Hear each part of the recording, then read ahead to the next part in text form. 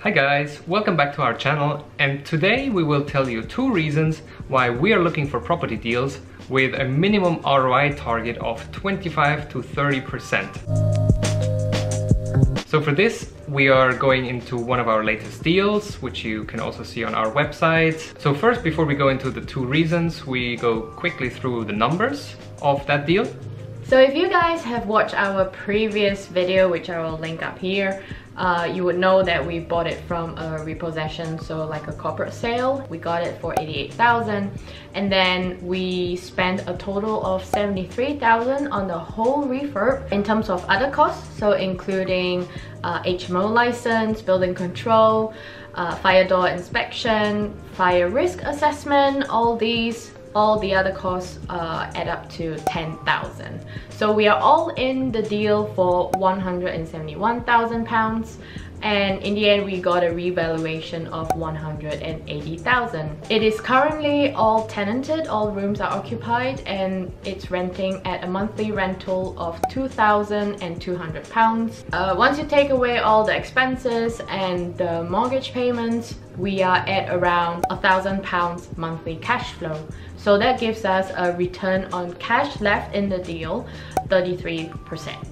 33% ROI sounds a lot, and um, it is probably a lot, but there are two very specific reasons why we are aiming for an ROI of that level. The first reason is in property, a lot of things can go wrong.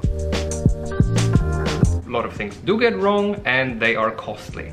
So we want to de-risk our business by starting off with a high ROI. We're putting in safety margins, so that is we're putting a contingency in our refurbishment and in our recent video we spoke about things that have gone wrong and where we uh, dip into our emergency fund or in, into our contingency buffer. So Which all of that... I will link up here. Yeah, so all of that um, has been used, but could there have been even more problems?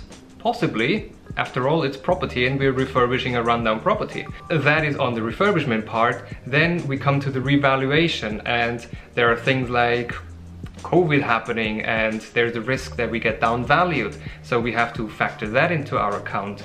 Um, and then once it's tenanted, then we have tenants that cannot pay, they can pay less than market rent for whatever reason, maybe because there's a pandemic and there are not that many tenants anymore um, or we have unexpected maintenance. So all these things do go wrong uh, when you're a landlord and you're operating property as a business. That's why we are aiming for high ROIs so that even for things that we don't even consider can happen don't impact us a lot because we have big margins in, in our in our deals. And reason number two is because we are working with private investors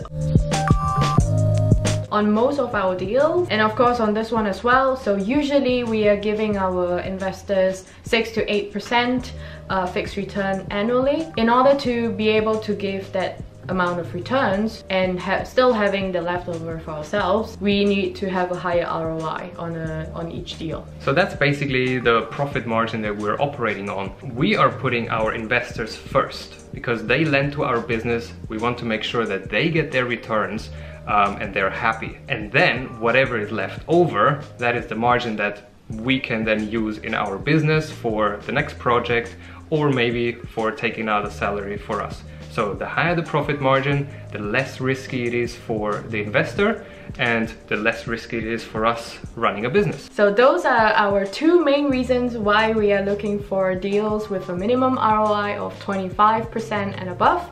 And if you have liked this video, make sure you hit the like button. And if you have any questions, just leave them down below. Make sure you subscribe and hit the bell so you get notified when we post new videos. See you on the next one. Bye. Oh, I, I keep looking at myself. Yeah, me too actually. there is the okay. number. Okay. Did, did you say that sounds like a really um, big number for? Uh, so those are. So those are our two reasons. Those are our two reasons.